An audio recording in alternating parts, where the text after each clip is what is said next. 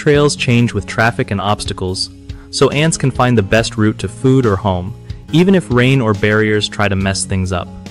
Some ants even strengthen or weaken trails to keep things efficient. Number 2. Scent marking for group coordination. When ants move big stuff together, they leave extra scent marks to help everyone stay in sync. It's like a silent signal that tells each ant where to be and how to move, making teamwork smoother and more efficient without any confusion most of the time. Number 3. Using environmental cues in navigation.